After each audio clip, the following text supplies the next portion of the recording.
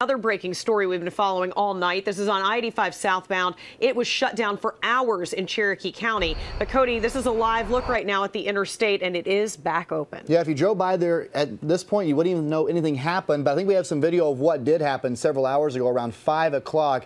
That semi right there crashed with a second car, a sedan, flipped over on its side there. Now, the troopers on scene told us the coroner was out there. This happened right at the North Carolina border, right around the 106 mile marker. We are still working, though, to get a lot more information on this crash. As we do, we'll be updating you on air and online at foxcarolina.com.